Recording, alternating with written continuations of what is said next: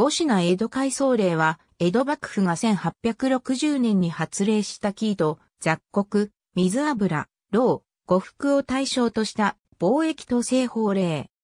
日米修交通商条約や安政の後、加国条約の締結により、1859年から函館、横浜、長崎の参考で貿易が開始し、港に居留する外国商人と日本の商人との間で取引が行われるようになった。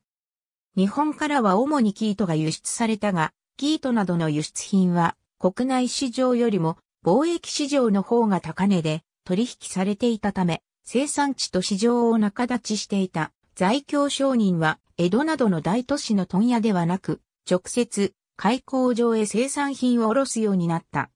そのため、江戸の問屋商人を中心とする従来の流通機構が徐々にほころびを見せ始めた。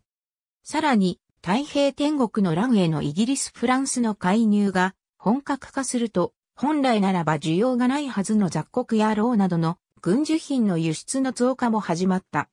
こうした急増する輸出需要に対し、生産供給が追いつかず、全般的に物価が高騰するなど、日本経済に大きな混乱が生じていた。こうした事態に対応するため、江戸の問屋商人らの要望も受けた江戸幕府は、1860年に、キート、雑穀、水油、ロウ、呉服の5品目について、必ず江戸の問屋を経由する法令5品江戸、改装令マイナスを発出した。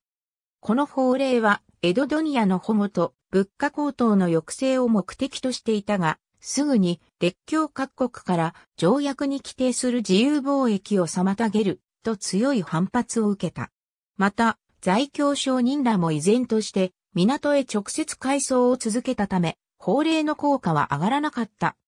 1862年には抜け道として、ギートの代わりに輸出が増加した原料である産紙の輸出禁止を命じたものの、こちらも列強の圧力によって1年で廃止されている。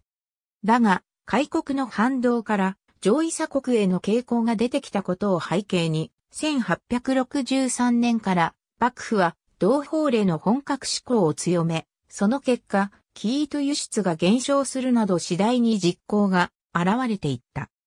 しかし、1864年の四国艦隊、下関砲撃事件を契機として、列強各国は幕府へ、同法令の撤回を強く迫り、一方幕府内部からもキートの輸出に税金をかける形で抑制した方が、幕府財政の改善にもつながるとする意見も出された。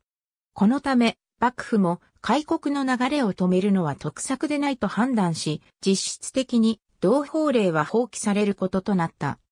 その後、幕府は1865年に、キート並び産種司会員制度が出されて、産子、キートの生産者に苗画金を納めさせる義務を定めた。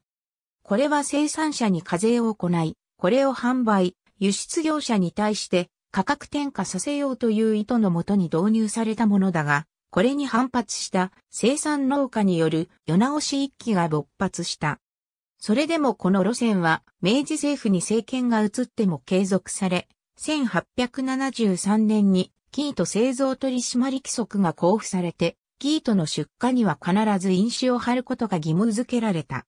以後、明治政府は、食産工業、士族受産の観点も含めた立場から、キートの増産、輸出政策への関与を強めていく。ありがとうございます。